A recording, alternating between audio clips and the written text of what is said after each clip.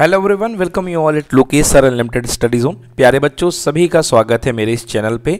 और आज हम यहाँ पर स्टार्ट करने जाने वाले हैं अभ्यास प्रश्न पत्र क्रमांक 2022 प्रश्न पत्र 2022-23 और जिसका कि हम सेट सी आपके लिए लेकर के आए हुए हैं, कक्षा क्लास ट्वेल्थ का। मैथमेटिक्स है। शीघ्र बहुत ही जल्दी आपका जो मैथ्स का पेपर होने वाला है, उसकी तैयारी के लिए आइए करते हैं सेट सी क्लास ट्वेल्थ का।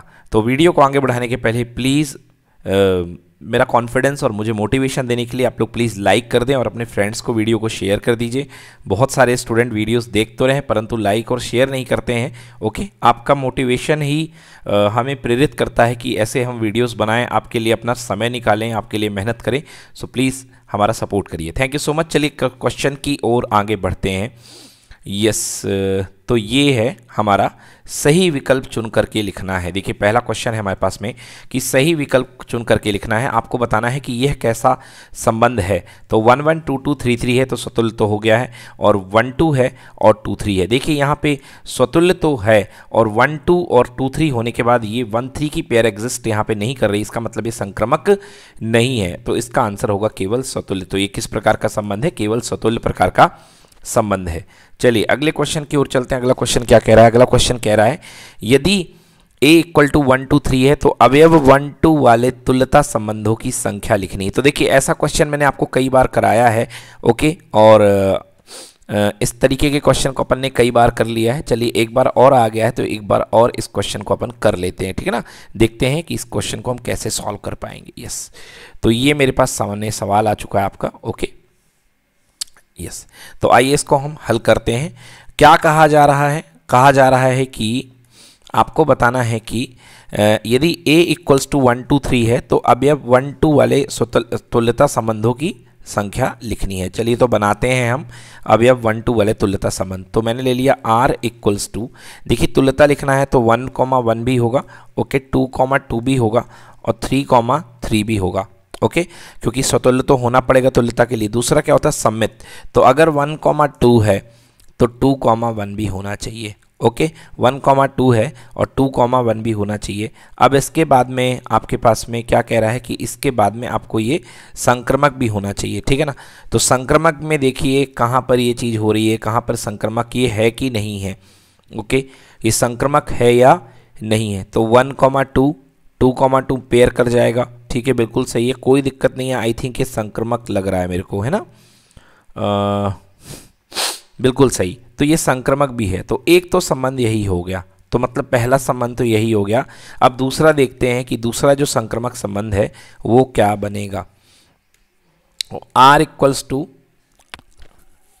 इतने को तो रख ही दीजिए। So one comma one two comma two three comma three और one comma two and two comma one ये हो गया। ठीक है ना? अब इसके बाद ले लीजिए आप वन कॉमा थ्री ले लीजिए तो क्या होगा? थ्री कॉमा वन भी होना चाहिए। थ्री कॉमा वन भी होना चाहिए। अब देखिए ध्यान से, यहाँ पे टू कॉमा वन है और one comma one comma three है। मतलब two comma one and one comma three so one one की पेयरिंग हो गई तो क्या होना चाहिए इसको संक्रमक होने के लिए? टू और थ्री होना चाहिए। और टू और थ्री क्योंकि सम्मित भी है तो थ्री और टू को भी अपने साथ में लेकर के आएगा। ओके? तो एक संबंध ये बन गया, आप ध्यान से देखिए इसमें कितने अवयव हैं? एक, दो, तीन, चार, पाँच छः सात, आठ, नौ। पूरे के पूरे अवयव हो चुके हैं मतलब दूसरा सेट ये बन चुका है तो इसका करेक्ट आंसर क्या होगा? इसका आंसर होगा बी क्योंकि इसके दो ही संभव सेट बनेंगे तो करेक्ट आंसर इसका कितना हो जाएगा? वन और टू वाले तुल्यता संबंधों की संख्या बी नंबर यानी कि टू हो जाएगा। चलिए अगला क्वेश्चन देखिए। Cos inverse cos seven pi by six देखो भाई कास कॉस का जो प्रिंसिपल डोमेन हुआ करता है, जो उसमें आउटपुट आता है, वो कितने से कितने ज़ीरो से लेके पाई के बीच में आता है, यानी वन एट्टी डिग्री से। अब ये कितना है? पाई बाई सिक्स यानी कि थ्री सिक्स से थर्टी और थर्टी का सेवन यानी टू हंड्रेड टेन मतलब ये डोमेन के बाहर है है ना? तो आप इसको लिख क्या सकते हैं? इसको लिखिए पहले, फिर उसके बाद ये सॉल्व होगा। तो कॉस इनवर्स, कॉस ऑफ़, देखो सेवन पाई बाई सिक्स मतलब cos of pi plus pi by six है। Okay? Cos of pi plus pi by six आप इसको लिख सकते हो, ठीक है ना? अब देखिए cos of pi plus pi by six जो हो गया, वो कितना हो जाएगा? That is equal to cos inverse cos pi plus theta कितना होता? है माइनस कॉस थीटा ठीक है ना? कॉस इनवर्स कितना हुआ करता? है माइनस कॉस थीटा हुआ करता है तो इसको मैं यहाँ से इरेज करके इसको minus cos minus cos of pi by six कर लिया ओके अब देखिए जो फॉर्मूले में आपके पास में ये कितना आ चुका है, ये आ चुका है कॉस इनवर्स इसे लिख सकता हूँ मैं माइनस और कॉस पाई बाई सिक्स कितना होता है? Cos pi by six that is equal to cos thirty degree and cos thirty degree is equals to होता है कितना? रूट थ्री बाई टू है ना? So minus root three by two अब आप जानते हैं कि जो फॉर्मूला होता है that is equal to cos inverse minus x का फॉर्मूला है ना? मैं यहाँ पे लिख देता हूँ इस फॉर्मूले के। क्या होता है formula cos inverse minus x का फॉर्मूला जो हुआ करता है तो जो फॉर्मूला है cos inverse minus x equals to pi minus cos inverse x ये फॉर्मूला हुआ करता है। Cos inverse minus x equal to pi minus cos inverse x तो इस तरीके से हम ये फॉर्मूला यदि यहाँ पर अप्लाई कर दें तो cos inverse minus x equals to pi minus sorry ये यहाँ पे तो ये कितना बन जाएगा अपने पास में? ये बन जाएगा that is equals to pi minus cos inverse x यानी कि root three by two that is equals to pi minus pi by six तो कितना हो जाएगा? आंसर हो जाएगा इसका फाइव पाई बाई सिक्स तो करेक्ट आंसर इसका बनेगा फाइव पाई बाई सिक्स तो डन ये भी हो गया। अगला कह रहा है a i j m cross one तो देखिए एम क्रॉस वन मतलब इसमें कितने स्तंभ है? एक स्तंभ है कॉलम आव्यू तो यह क्या होगा? स्तंभ आव्यू होगा। ओके डन एक विषम सम्मित अवयव के विकर्ण का प्रत्येक अवयव क्या होता है? भाई, शून्य होता है। विषम सम्मित अवयव आप जानते हो ना? इस तरीके से जो अवयव बनता है, जिसका प्रत्येक विकर्ण का अवयव क्या होता है? शून्य होता है। और ये अगर ए है तो ये क्या होता है? माइनस ए मतलब इसकी प्रॉपर्टी क्या होती है? A j i is equal to minus of a i j ये प्रॉपर्टी होती है। चलिए अगला क्वेश्चन देखिए। X की पावर छः का, x के तीन, x की पावर तीन के सापेक्ष अवकलन गुणांक आपको निकालना है। तो x की पावर छः का, x की पावर तीन के सापेक्ष अवकलन गुणांक। मतलब क्या करना है अपन को? देखो, समझो इस चीज़ को। आपको करना है x की पावर छः का अवकलन गुणांक। मतलब d ऑफ़ x की पावर छः डी ऑफ़ एक्स की पावर छः विद डी एक्स की पावर थ्री। ये निकालना है आपको। तो ऐसा फ़ंक्शन आपने पढ़ा है कि अगर आपको d y one upon d y two करना पड़े तो क्या करते हैं? D y one by d x divided by d y two by d x हमको करना पड़ता है ना? तो यहाँ पर क्या हो जाएगा? देखो, डी एक्स की पावर छः अपॉन डी एक्स कर देंगे और यहाँ पर डी एक्स क्यूब अपॉन क्या कर देंगे? डी एक्स कर देंगे। तो कितना हो जाएगा ऊपर? सिक्स एक्स, सिक्स एक्स की पावर फाइव और नीचे कितना हो जाएगा थ्री एक्स स्क्वायर तो ये कट गया, दो आ गया और एक्स की पावर कितना बच गया? थ्री बच गया, पाँच में से दो गए तीन। So correct answer two x की पावर थ्री ओके यस ये हो गया। चलिए, अगला क्वेश्चन है कि if cos inverse sine of x then the value of f dash x की वैल्यू आपको पूछी गई। तो ध्यान से देखिए इसको कैसे करेंगे। आपके पास में क्या है? कॉस इनवर्स है। साइन एक्स को आप क्या लिख सकते हैं? Cos of pi by two minus x okay अब ये इसके प्रिंसिपल डोमेन में है तो कॉस इनवर्स से कॉस हट जाएगा। केवल आपके पास में क्या बचेगा? Pi by two minus x बचेगा। अब आपको इसका अवकलन करना है। ये देखिए एफ़ डेस एक्स पूछा गया। मतलब ये जो आया इसका अवकलन तो पाई बाई टू का कितना हो जाएगा? ज़ीरो और एक्स माइनस एक्स का कितना हो जाएगा? माइनस वन तो करेक्ट आंसर इसका कितना बनेगा? माइनस वन बनेगा। चलिए, अवकल समीकरण d by d x equals to four का हल क्या होगा? अवकल समीकरण d by d x equal to four. देखो, वैसे भी दिमाग लगाओ तो इसका हल होगा फोर एक्स प्लस सी, है ना? सामने मतलब कुछ करने की ज़रूरत ही नहीं है, फोर एक्स प्लस सी। और बाकी सॉल्व करना हो तो कोई दिक्कत नहीं है, बन जाएगा, लो सॉल्व कर लेते हैं। D by d x is equal to four है, so d y is equal to कितना हो गया? Four d x. समाकलन कर दो तो डी वाई का कितना हो गया? फोर हो गया, इसका हो गया फोर एक्स, और साथ में सी आता है तो आंसर आ गया फोर एक्स प्लस सी, ठीक है ना? अगला क्वेश्चन देखिए क्या पूछा गया है? इसका समाकलन गुणांक पूछा गया, ठीक है ना? इसको हमको हल करना पड़ेगा। आइए इसको हल करते हैं। चलिए। ओके।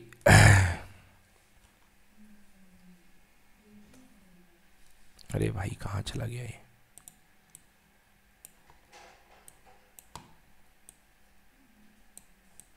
ये देखिए हमें क्या क्या है? इसका हमें समाकलन गुणांक पूछा गया है। One minus y square d d x by d y plus y x equals to a y तो सबसे पहले ये समझो कि ये जो फलन है, ओके, इसमें वाई स्क्वायर नीचे है है ना? तो इसमें आप वन बाई वाई स्क्वायर का भाग दे दो, वन माइनस वाई स्क्वायर का भाग दे दो। कैसे लिखा हुआ पहले इसको लिख लो अच्छे से। One minus y square d x by d y plus y x equals to a y ठीक है ना? अगर मैं वन बाई वाई स्क्वायर का डिवाइड करता हूँ d x by d y so कितना हो गया? Y upon one minus y square अब प्रॉब्लम देखो यहाँ पे क्या हो रही है। प्रॉब्लम यहाँ पे ये है कि आपके पास में डी बाई अगर d x by d y लेते हो तो ऊपर आपके पास एक्स आना चाहिए, यहाँ पे। ओके, इधर पे क्या आना चाहिए? एक्स आना चाहिए बट यहाँ पे क्या आ रहा वाई आ रहा मतलब ये जो फॉर्मेट है, ये हमको सपोर्ट नहीं कर रही है। तो फिर क्या करूँ मैं इसके लिए? मैं कुछ दूसरा तरीका लगाता हूँ। मैं क्या करूँगा? देखो, ये क्वेश्चन अपने पास में है। मैं सबसे पहले वाई का डिवाइड करूँगा। तो यदि मैंने वाई का डिवाइड कर दिया तो क्या हो जाएगा? One minus y square d x by d y. Okay, plus y x है। इक्वल टू ए वाई है। मैंने इधर भी वाई का डिवाइड कर दिया, मैंने इधर भी वाई का डिवाइड कर दिया, मैंने इधर भी वाई का डिवाइड कर दिया वाई से वाई कैंसिल इससे ये कैंसिल हो गया ओके तो आपके पास क्या बच गया? आपके पास बच चुका है one minus y square upon y. ठीक है, आप चाहो तो इसको थोड़ा सा तोड़ भी सकते हो, ठीक है ना? बट आई थिंक इसका कुछ फ़ायदा मिलेगा नहीं, तोड़ने का तो अभी मत तोड़ो। D x by d y है। Okay, plus x equals to कितना है? ए मिल गया अपन को, ठीक है ना? अब हमारी कोशिश ये है कि हम इसको डी बाई डी एक्स में पलट दें। चलो, कोशिश कर सकते हैं, करते हैं कोशिश। तो मैं क्या करता हूँ? मैं इसको डी बाई डी एक्स में पलटने के लिए इसको डी बाई डी एक्स को अकेला रखता हूँ। तो one minus y square upon y equal to, ये कितना आ जाएगा हमारे पास में? देखिए, one minus y square upon y d x by d y equals to कितना हो जाएगा ये हमारे पास में? ये हमारे पास में हो गया a minus x okay a minus x ठीक है, बहुत बढ़िया। अब यदि मैं इसको यहाँ ले जाता हूँ, इसको यदि मैं यहाँ ले जाऊँ d y by d x a minus x के साथ so d y by d x into a minus x ठीक है ना? Equals to d equals to कितना बच जाएगा? One minus y square upon y. ठीक है, one minus y square upon y. Okay अच्छा एक चीज़ ये देखो सबसे पहली बात थी कि यहाँ पर ये जो फलन है, ये y की पावर में आपको टू दे रहा है। तो यहाँ पर अब समाकलन गुणांक इसमें बोला तो गया है बट क्या ये लीनियर है? ये मेरे को लीनियर नहीं दिख रहा है। मतलब रैखिक समीकरण ये मेरे को कहीं से कहीं तक ये दिख नहीं रहा है। है ना? ये समीकरण जो है, मेरे को ये रैखिक नहीं दिख रहा। पहली एक बात तो ये है। चलिए, फिर भी थोड़ा इसको आगे बढ़ाते हैं। देखते हैं जितना हो सकता है सॉल्व करेंगे हम लोग। A minus x equal to one upon y minus y ठीक है? डी वाई डी एक्स अब जो हमारे पास फॉर्म होते हैं, वो कौन कौन से होते हैं? देखो आप। जो हमारे पास फॉर्म हुआ करते हैं लीनियर डिफरेंशियल इक्वेशन के, वो होते हैं d y d x plus p y equal to q एक फॉर्म तो ये होता है। और दूसरा होता है d x by d y plus p x equals to q दूसरा फॉर्म ये हुआ करता है, ठीक है ना? तो d x by d y plus p x equals to q तो d x by d y plus p x equals to q और यहाँ पे कितना है? ऊपर वाले में d y by d d y by d x plus p y equal to q दूसरा ये वाला स्ट्रक्चर है। ओके तो देखिए, यहाँ पर एक्चुअली कौन सा फॉर्मेट लगने वाला है? यहाँ पर जो है हमारे पास में, ये फॉर्मेट हम बड़े आसानी से लगा सकते हैं और थोड़ा सा मैंने इस क्वेश्चन को बड़ा कर दिया। आई डोंट नो शायद थोड़ा सा दिमाग स्टिगनेंट हो गया यहाँ पे, इस वजह से ऐसा हो गया। तो इसको तो हम इतना कुछ करने की ज़रूरत नहीं है मतलब इस क्वेश्चन में। ये आराम से सॉल्व हो रहा है। अब कैसे हो रहा है, देख लो भाई, इसका सोल्यूशन मैं कर देता हूँ। आपको केवल क्या निकालना है? आई निकालना है, ठीक है ना? तो कौन सी फॉर्मेट लग रही है? फॉर्मेट मैं आपको यहाँ लिख के बता देता हूँ कि फॉर्मेट यहाँ पे लगेगी। डी वा बाई यहाँ पे sorry d x by d y plus p x equals to q हाँ तो ये बड़े आराम से हो जाएगा। आप क्या कीजिए यहाँ पे कि वन माइनस वाई स्क्वायर का पूरे में डिवाइड कर दो। वन माइनस वाई स्क्वायर का पूरे में डिवाइड कर दो। तो ये कितना बन गया आपके पास? ये बन गया d x by d y और plus y upon one minus y square okay into x plus a is equals to a y upon one minus y square okay अब ये देखिए किस फॉर्म में बन चुका है। ये आपके पास जो फॉर्म बन चुकी है बन चुकी है d y by d x plus p sorry d x by d y ये जो फॉर्म आपके पास बन चुकी है बन चुकी है d x by d y plus p x equal to q. बिल्कुल, ये फॉर्म में आ चुकी है। अब हमारे पास जो इसका इंटीग्रेटिंग फैक्टर होता है, वो कितना होता है? इसका इंटीग्रेटिंग फैक्टर होता है ई e की पावर पी डी एक्स ये हुआ करता है। ई हम्म। e की पावर पी डी वाई क्योंकि फ़ंक्शन का इंडिपेंडेंट वेरिएबल वाई है तो यहाँ पे क्या बनेगी? ई e की पावर पी डी वाई तो मैं क्या करूँगा? ई की पावर पी की जगह कौन बैठा है? ये बैठा हुआ है। Y y upon one minus y square. ठीक है ना? और यहाँ पे क्या आ जाएगा? डी वाई आ जाएगा। यहाँ पे ये आ गया डी वाई। अब हमें इसको सॉल्व करना है। तो कैसे सॉल्व करेंगे? देखिए, किस चीज़ को सॉल्व करना है? इस इंटीग्रल को। है ना? ई e की पावर में y upon one minus y square. तो हम क्या करते हैं? वन माइनस वाई स्क्वायर को हम टी ले लेते हैं। ओके? तो d t y d y कर दो। इज़ इक्वल टू वन का कितना हो गया ज़ीरो और इसका कितना हो गया माइनस टू वाई हमको क्या चाहिए? हमको वाई डी वाई चाहिए। तो y d y equals to कितना हो जाएगा? Minus d t by two ठीक है ना? अब इसमें पुट कर दीजिए। तो ई e की पावर देखिए क्या है? माइनस है, ये डी टी अपॉन में कितना है? टू है और साथ में वन माइनस वाई स्क्वायर को कितना मान लिया था? टी मान लिया था। तो यहाँ पे जो वाई डी वाई आया था, इसको अपन ने क्या पुट कर दिया था? वाई डी वाई को हमने पुट कर दिया था minus of d t by two तो minus d t by two d t by t तो ई e की पावर माइनस देखिए one one upon two common कितना बन गया? डी टी बाई टी ठीक है ना? मतलब ई e की power minus one by two और ये कितना हो गया? लॉक टी ठीक है? ई e की पावर लॉक टी इसको थोड़ा सिंप्लीफाई कर लो तो बेहतर रहेगा। ये बन जाएगा मेरे पास में ई e की पावर लॉग टी की power minus one by two मतलब कुल मिला करके ये कितना आ गया मेरे पास? ये मेरे पास आ गया फाइनली ए की ई से लॉग कैंसिल हो गया तो टी की power minus one by two बन चुका है. और टी की power minus one by two को मैं क्या लिख सकता हूँ? टी की power minus one by two को मैं लिख सकता हूँ वन अपॉन रूट टी और हमने टी माना क्या था? उसको रिप्लेस करना पड़ेगा. तो हमने टी माना था one minus Y square okay तो ये आ जाएगा. One upon under root one minus Y square. तो कहीं माइनस साइन छोड़ा तो नहीं है, एक चीज़ और देख लो, कहीं नहीं छोड़ा है। तो इसका आंसर आएगा one upon under root one minus Y square. तो ऑब्जेक्टिव नहीं है ये, है ना? तो इसका समाकलन गुणांक पूछा गया तो one upon under root one minus Y square क्या होगा इसका? समाकलन गुणांक होगा। डन? तो ये आ गया इसका समाकलन गुणांक, इंटीग्रेटिंग फैक्टर। ठीक है? इसको देख लीजिए, इस तरीके से इसको हम करेंगे। ये हो गया। चलिए डन अगले क्वेश्चन की ओर बढ़ते हैं। अगला क्वेश्चन क्या है? ये देखिए, अगला क्वेश्चन आपसे क्वेश्चन नंबर फोर्थ पूछा गया है कि I cap J cap cross K cap J cap K cap cross I cap cross K cap and K cap dot sorry dot है बीच में। तो उसको यहाँ पे मैं कर लेता हूँ। देखिए, क्या पूछा गया आपसे?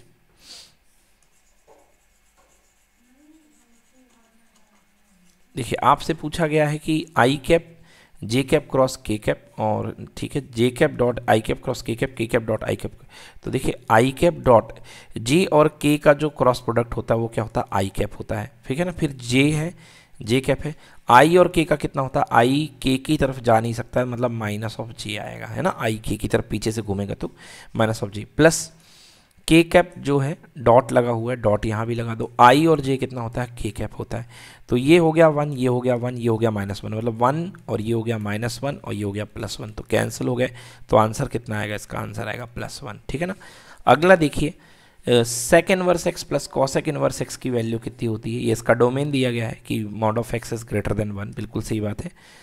तो sec inverse X plus cosec inverse X की वैल्यू ये देखिए, अंदर वाली जो चीज़ है कितनी हो जाएगी? पाई बाई टू हो जाएगी। और कॉस पाई बाई टू कितना होता है? ज़ीरो तो करेक्ट आंसर इसका कितना आ जाएगा? ज़ीरो आ जाएगा। डन चलिए, अगला क्वेश्चन है कि अगर ए और बी परस्पर अपवर्जी घटना है तो ए यूनियन बी कितना होगा? आंसर होता है P A plus P B क्यों? क्योंकि परस्पर अपवर्जी घटनाओं के लिए पी ए इंटरसेक्शन बी कितना हो जाता है? ज़ीरो यानी ए और बी का जो कॉमन होता है, वो क्या होता है? ज़ीरो हो जाता है। चलिए, अगला देखिए। फलन F X equal to sine X प्रदत्त अंतराल फलन में निरंतर ह्रासमान है। तो आप इसको एक काम कीजिए साइन एक्स का ग्राफ बना लीजिए, उससे बेस्ट नहीं हो सकता ये। तो ये देखिए, निरंतर ह्रासमान। तो ये देखो साइन जो है यहाँ से यहाँ तक बढ़ रहा है ओके और इसके बाद यहाँ से यहाँ तक क्या होता है? पूरा का पूरा घटता है। तो ये ये क्या चीज़ है? ये आपके पास में है पाई बाई टू ओके और ये क्या आपके पास में? ये पाई बाई टू है और ये आपका पाई है, इसके बाद में ये है three pi by two, okay? तो किसमें कह रहा, निरंतर ह्रासमान ह्रासमान बताना है आपको। तो देखो, ध्यान से देखो, ये पाई बाय टू से लेके थ्री पाई बाई टू में लगातार घट रहा है, निरंतर मतलब लगातार। तो इसका आंसर कितना होगा? पाई बाय टू से लेके थ्री पाई बाय टू। तो मैं यही कहूँगा कि ये जो आंसर है आप इसको फलन की मदद से कर सकते हो, आप इसको ग्राफ की मदद से कर सकते हो। पाई बाय टू से लेके थ्री पाई बाय टू इसका आंसर होगा। चलिए, ये भी हो चुका है। अगला क्वेश्चन है। इंटीग्रेशन का पूरा यहाँ पर क्वेश्चंस दिया गया है। तो जो सरल है, पहले अपन उसको कर लेते हैं। देखिए फॉर्मूले आपको पता होंगे। D X upon X square minus A square का डायरेक्टली फॉर्मूला ही आता है। D X upon X square plus A square का लॉग ऑफ़ एक्स प्लस ये आ जाता है, ठीक है ना? X square minus A square का फॉर्मूला ये हुआ करता है। Okay? X by two under root X square minus A square minus A square by two log of X plus X square minus A square ठीक है ना? Yes तो ये होता है। चलिए, अगला फॉर्मूला देखिए। देखिए टेन एक्स का इंटीग्रेशन क्या होता है? टेन एक्स का इंटीग्रेशन सभी को पता होगा। लॉग सेक एक्स होता है ओके अब देखिए, यहाँ पर अगला क्वेश्चन कहा गया है कि ये इसका आंसर फाइंड करना है तो मैं तो फाइंड करके बताऊँगा ही। अब पहले ई e की पावर माइनस एक्स का देख लो फार्मूला तो आप लोग जानते होंगे कि ई e की पावर माइनस एक्स का जो इंटीग्रेशन आएगा, वो आएगा नेगेटिव ई e की पावर माइनस एक्स और लिमिट कहाँ लगा रखी है? ज़ीरो से लेके इन्फिनिटी तो ज़ीरो से लेके इन्फिनिटी माइनस साइन को बाहर कर दो। पहले क्या आएगा? ई की power minus infinity minus E की पावर माइनस ज़ीरो ये हो गया भाई साहब। तो ये हो गया माइनस बाहर रहने दो ई की पावर माइनस इन्फिनिटी मतलब वन अपॉन ई की पावर इन्फिनिटी माइनस ई की पावर माइनस ज़ीरो मतलब वन अपॉन ई की पावर ज़ीरो ओके तो देखिए ये कितना हो जाएगा माइनस, ये हो गया ई की पावर इन्फिनिटी कितना होगा? वन अपॉन इन्फिनिटी मतलब ठीक है वन अपॉन ये कितना हो गया? वन हो गया। तो ये कितना हो गया? माइनस, ये हो गया ज़ीरो और ये हो गया माइनस का वन माइनस से माइनस कैंसिल आंसर कितना आ गया? प्लस वन हो गया आंसर इसका। ओके तो इसका आंसर कितना आ जाएगा? आपका प्लस वन हो जाएगा। डन चलिए। ओके, देखिए तो इसका जो करेक्ट आंसर हमारे पास निकल करके आ रहा है, वो कितना आ रहा है? प्लस वन आ रहा है। ओके तो इसका आंसर क्या होगा? इसका आंसर हमारे पास कितना हो जाएगा? प्लस वन चलिए, देखिए लास्ट क्वेश्चन और बचा है तो लॉजिकली इसका आंसर तो वैसे देखा जाए तो मतलब बिना ही सॉल्व करे, क्योंकि एक ऑप्शन बच गया है तो माइनस वन होगा। बट आइए इसको हम सॉल्व करते हैं, इस क्वेश्चन को पूरे तरीके से, कि ये कैसे सॉल्व होगा, देखते हैं इसको।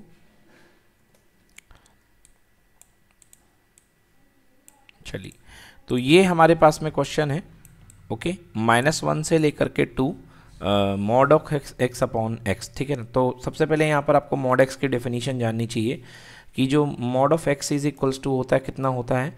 माइनस एक्स होता है कब जब एक्स की वैल्यू ज़ीरो से छोटी होती है और प्लस एक्स होता है कब जब एक्स की वैल्यू ज़ीरो से बड़ी होती है। तो यहाँ पर जो इंटीग्रेशन है, दो पार्ट में टूटेगा। एक माइनस टू से लेके ज़ीरो में मॉड एक्स अपॉन एक्स और एक टूटेगा ज़ीरो से लेके वन में mod X upon X okay? तो माइनस टू से लेकर के ज़ीरो में इसकी वैल्यू जो होगी कितने पे टूट जाएगी? मॉड एक्स की निगेटिव एक्स में। तो माइनस टू से लेके ज़ीरो, ये बन गया आपका निगेटिव एक्स अपॉन एक्स और डी एक्स और ये आपके पास में कितना बन गया? ज़ीरो से लेके वन। ये टूट जाएगा एक्स में, ये डी एक्स हो गया। आप काट दीजिए, इसको कैंसिल कर दिया आपने तो कितना बन गया? Minus one. माइनस वन का इंटीग्रेशन कितना आ जाएगा? माइनस एक्स आ जाएगा। ओके? तो इसको मैं यहाँ लिख देता हूँ। ये आ गया माइनस का एक्स ठीक है? लिमिट आपकी कितनी चल रही है? माइनस टू से लेकर के ज़ीरो। और दूसरा आपके पास में कितना आ जाएगा? डी एक्स आएगा तो डी एक्स का इंटीग्रेशन कितना आ जाएगा? एक्स लिमिट कितनी है? ज़ीरो से लेकर वन तो चलिए माइनस बाहर ले लीजिए, अब लिमिट पुट कर दीजिए। अपर लिमिट है ज़ीरो लोअर लिमिट कितनी हो जाएगी? माइनस ऑफ़ टू ठीक है? प्लस वन माइनस ज़ीरो तो ये वन ही बचेगा। अब चलो इसको सॉल्व करता हूँ। देखो, ये कितना हो जाएगा? ये माइनस माइनस प्लस हो जाएगा और ये माइनस अंदर अटैक करेगा तो माइनस टू और प्लस वन तो आंसर कितना आ गया? माइनस वन इस तरीके से जो आपका इसका आंसर बनेगा, वो कितना बनेगा? माइनस वन जो है, बिल्कुल सही आंसर है। ठीक है? चलिए, अब देखिए, इसके बाद अपना आता है, एक शब्द में उत्तर लिखिए। तो आपको लिखना है कॉस पंद्रह कॉस पचहत्तर, इसकी वैल्यू आपको लिखनी है। देखो, समझो आप इस बात को कि ये अपने पास में क्या बनेगा। कॉस पंद्रह जो है, आप इसको क्या लिख सकते हो? इसको लिख सकते हो आप cos ninety minus fifty, seventy five, okay?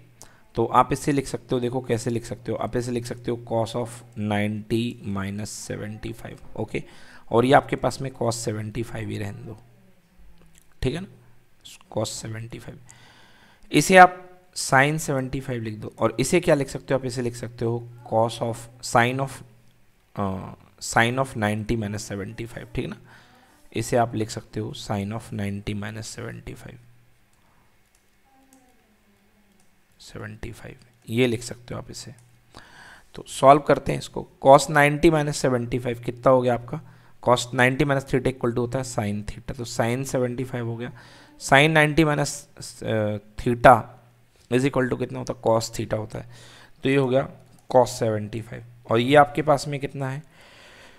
ये आपके पास में है साइन सेवेंटी और ये आपके पास में है कॉस सेवेंटी आपको पता है कि ये देखिए, अभी कुछ पता वाली बात नहीं यहाँ पे। चलिए, अब एक काम करिए, आप साइन सेवेंटी फाइव यहाँ से कॉमन लीजिए कॉस सेवेंटी फाइव यहाँ से कॉमन लीजिए। तो क्या बन जाएगा? वन वन वन वन और आंसर कितना आ जाएगा? इसका ज़ीरो तो इसका करेक्ट आंसर क्या है? ज़ीरो आ जाएगा। चलिए, ठीक है ना? अगला देखिए, अगला आपको पूछा जा रहा है कि X into X minus one और प्लस होल पावर वन की पावर कितना है? वन बाई थ्री का उच्चतम मान। मतलब आपको ये जो दिया गया है, आपको इसकी मैक्सिमम वैल्यू फाइंड करनी है। थोड़ा इसको मैं जूम कर लूँ, तब मैं सॉल्व करूँगा। ये लीजिए। तो आपको इसकी मैक्सिमम वैल्यू फाइंड करनी है। तो चलिए इसको लेके चलते हैं। शीट पे सॉल्व करेंगे इसको। ओके क्वेश्चन तो ले लिया हमने। अब इसको हम सॉल्व करने वाले हैं। ये देखिए क्वेश्चन आपके पास में है। ये है। Okay X into X minus one plus one की पावर वन बाई थ्री की आपको चाहिए वैल्यू तो सबसे पहले इसको फलन सपोज़ कर लो Y is equal to X आप मल्टीप्लाई कर दो तो एक्स इंटू एक्स कितना हो गया? X square minus X plus one whole to the power one by three okay अब देखिए इसको डिफ्रेंशिएट कर दो D Y by D X equal to कितना होता है? एन एक्स की पावर एन माइनस वन तो एन ये हो जाएगा X square minus X plus one की whole power N minus one N minus one मतलब वन अपॉन थ्री माइनस का वन और इसका डिफ्रेंशिएशन अंदर ही अंदर कर दो तो कितना हो गया? टू एक्स माइनस वन ठीक है ना? So one upon three X square minus X plus one की whole power one upon three minus one that is equals to one minus three by three that is equals to minus of two by three तो यहाँ पे आ जाएगा minus two by three और यहाँ पे हो जाएगा टू एक्स माइनस वन ठीक है ना? अब देखिए एक्स की जो वैल्यू आपको दी गई है, वो ज़ीरो से लेके वन के बीच में दी गई है।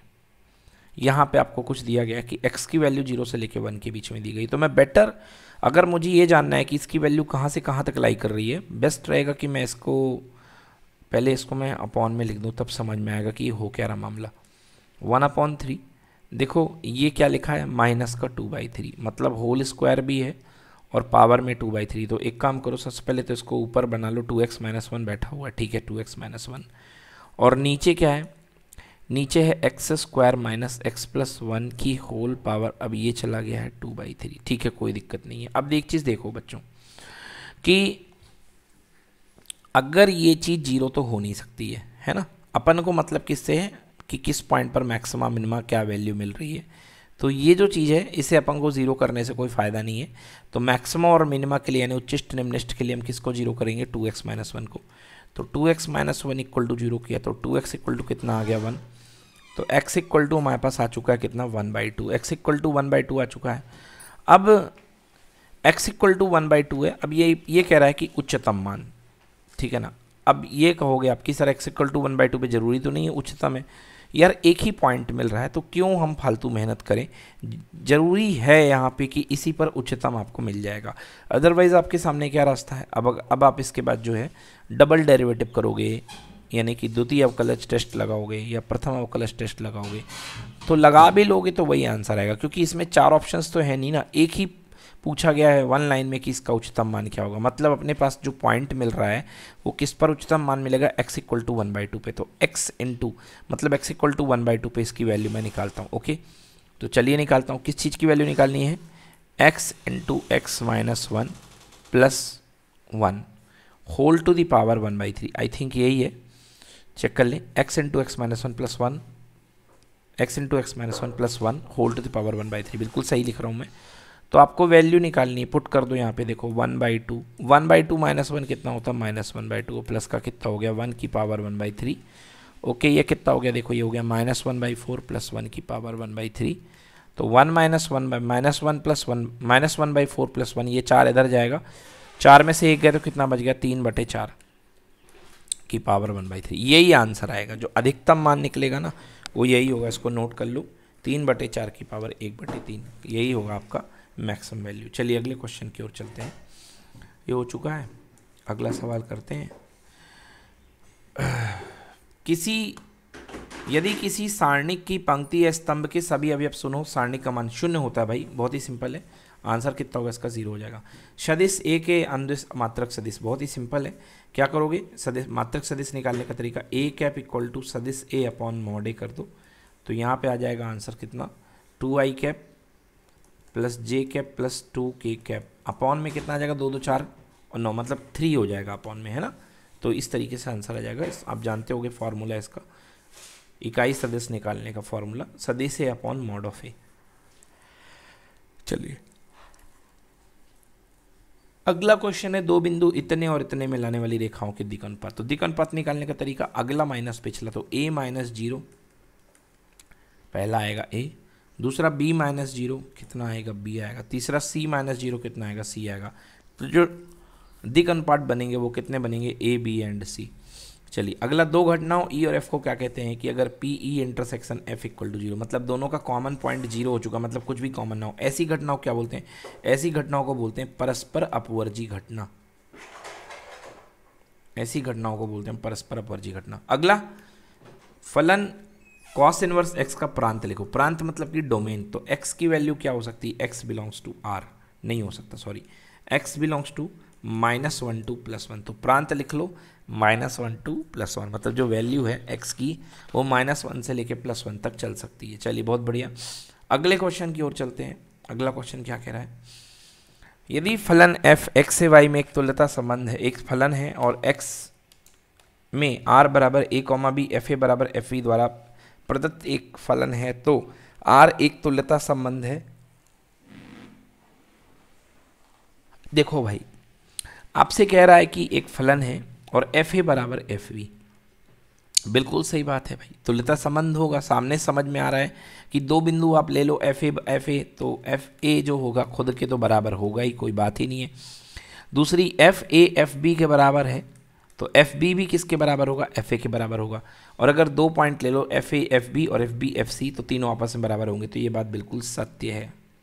ठीक है अगला सेकेंड वर्ष का जो मुख्य मान है वो कितना है, वो आपको दिया गया ज़ीरो से लेके पाई और माइनस पाई बाई टू। ठीक है, बताना है कि सही है कि गलत है। चलिए देखिए, अगला क्वेश्चन है सेक इनवर्स एक्स की मुख्य शाखा आपको बतानी है कि सेक इनवर्स एक्स की मुख्य शाखा क्या है? ज़ीरो टू पाई और except minus pi by two बिल्कुल सही है, क्योंकि सेक पाई बाई सेक की वैल्यू इन्फिनिटी कहाँ पे होती है? पाई बाई टू पे तो उसको रिमूव कर दिया गया है। चलिए, अगला क्वेश्चन है, प्रत्येक अदिश आव्यूह एक विकर्ण आव्यूह होता है तो ये भी बिल्कुल क्या है? ये एकदम सत्य है। कि प्रत्येक अदिश आव्यूह एक विकर्ण आव्यूह होता है। चलिए अगला क्वेश्चन देखिए।